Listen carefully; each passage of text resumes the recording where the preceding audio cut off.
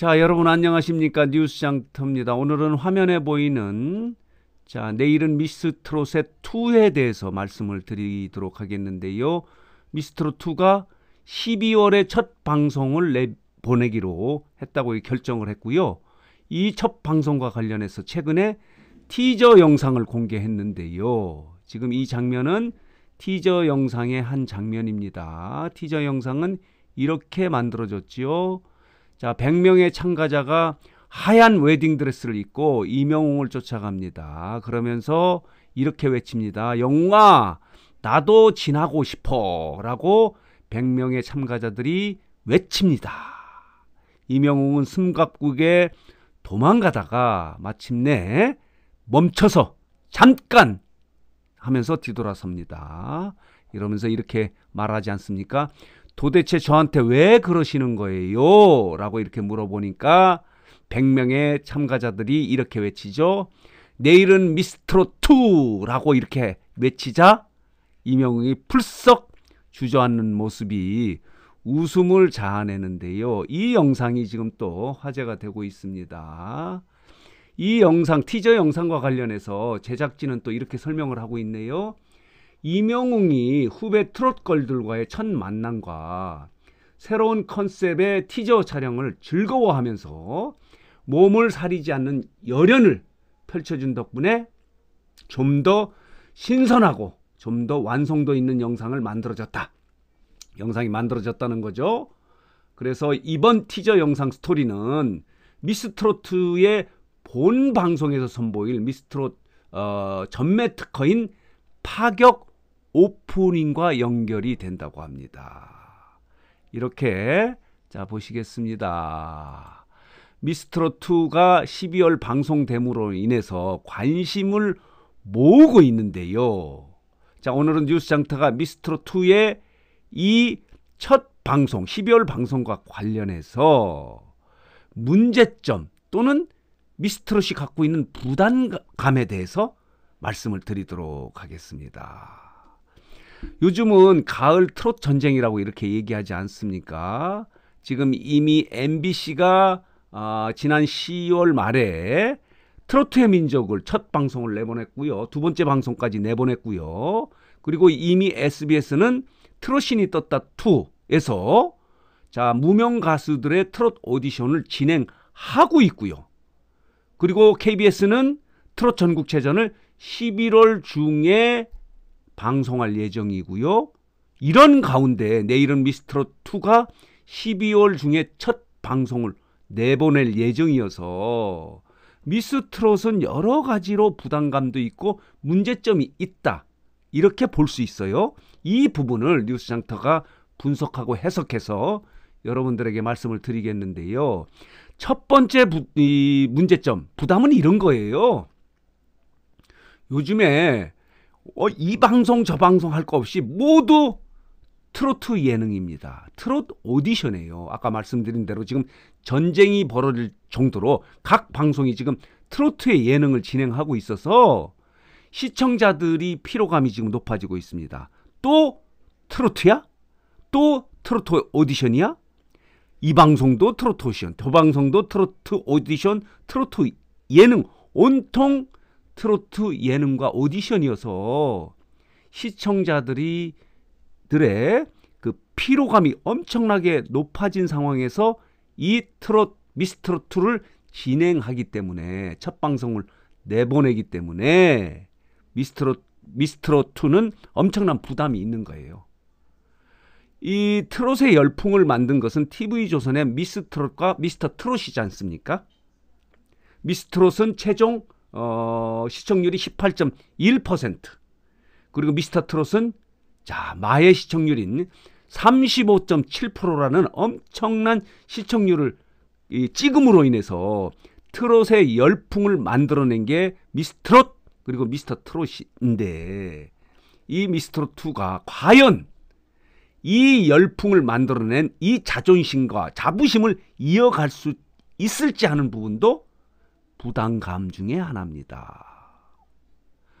그만큼 제작진들은 어려운 거예요. 이런 어, 우리가 만든 이 열풍을 미스트롯2가 이어갈 수 있을지 이런 부담감과 어려움을 갖고 있습니다.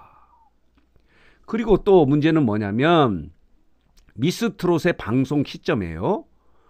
어, 이 통상 어, 트롯 오디션 같은 경우는 중반 이후에 시청률이 높아집니다. 인기가 높아지는 거예요. 왜 그러냐면 1차로 참가자 80명 또는 100명 중에서 절반 정도는 걸러져야 정말 실력 있는 가수들만 남아있고 예선전에서 또 화제를, 인기를 모으는 참가자들이 있기 때문에 중반 이후에 인기, 말하자면 시청률이 높아지거든요.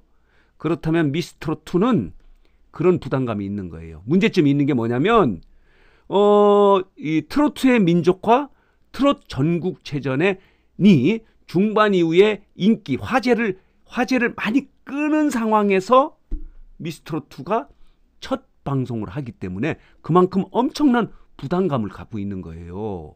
오디션이 첫 방송서부터 큰 인기를 끌기는 쉽지는 않습니다. 그런데도 불구하고 지금 어, 트로트의 민족도 10% 가까이 찍지 않았습니까? 9.8% 정도의 시청률을 찍었는데 어쨌든 오디션은 중반 이후에 화제를 모으고 인기를 모으기 때문에 트롯 전국체전과 트로트의 민족이 중반 시, 점에서 화제와 인기를 모을 때 미스트롯 2를 첫 방송을 내보내야 하는 그런 입장이어서 엄청난 부담감을 가질 수밖에 없습니다. 그리고 과연 그렇다면 미스트롯이 미스트롯 그리고 어, 미스터 트롯이 만들어 놓은 그 열풍을 과연 이어갈 수 있을지 하는 그런 부담감과 문제점을 안고 있는 거예요. 그리고 또 하나는 이겁니다. 지금 미스트롯과 미스터 트롯은 성별을 나눠서 하고 있는데 지금 타 방송의 트롯 오디션은 남녀 혼성 오디션입니다. 그렇기 때문에 이 어, 여성들만 나오는 오디션이 과연 높은 화제와 인기를 모아서 시청률을 올릴 수 있을지 하는 거에 대해서 의문 부호를 찍는 사람이 많이 있습니다. 지금 트롯의 저 시청자들 말하자면 팬들이 50대, 60대, 70대의 여성분들이 많이 있거든요. 근데 대체적으로 여성분들은 남성 가수들을 선호하는 편이에요.